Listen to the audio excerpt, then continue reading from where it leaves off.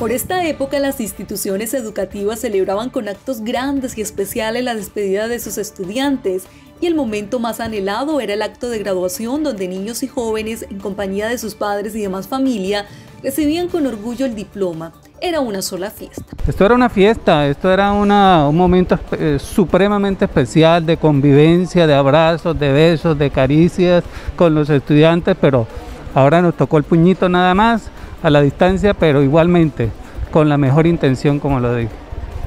La pandemia obligó a distanciarse y extrañar esos momentos de compartir que solo se vivían en el colegio. Hoy, después de varios meses, estudiantes y docentes se vuelven a encontrar en medio de una ceremonia típica con muchas restricciones, pero con la alegría de tener por fin el título en sus manos. Nos tocó de una manera pues totalmente diferente, eh, muy felices de volvernos a encontrar con nuestro titular, con nuestros compañeros, con el rector y un momento muy feliz. De pequeño veía que los de 11 se graduaban y los de 10 le hacían la ceremonia, la fiesta y todo eso. Pues teníamos pensado eso, pero pues ahora con esta pandemia, con esta eh, situación, la verdad pues muy poco lo que se puede hacer y pues hemos logrado por lo menos sacar la graduación virtual eh, presencial. La verdad es que este momento es muy especial para nosotros, los docentes, volver a encontrarnos con los estudiantes, después, como usted lo dice, de tanto tiempo de, de ausencia en la institución y específicamente en este momento tan especial para ellos.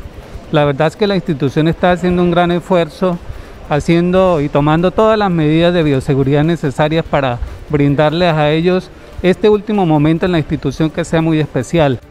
La virtualidad ayudó a que cientos de estudiantes culminaran satisfactoriamente el año escolar, pero al mismo tiempo fue un reto. Al principio era un poco difícil porque era algo que no esperábamos, era algo complicado, nunca lo hemos vivido, pero con ayuda de nuestro titular, del rector y con todo el grupo administrativo del colegio pudimos lograrlo. Y como padre de familia pues fue un poco difícil eh, porque eh, había que estar aparte de la jornada laboral del padre, había que estar también llegar a tiempo para estar ahí en el acompañamiento con ellos y esperar que todas las cosas salieran en éxito y en bien, como han salido, gracias a Dios.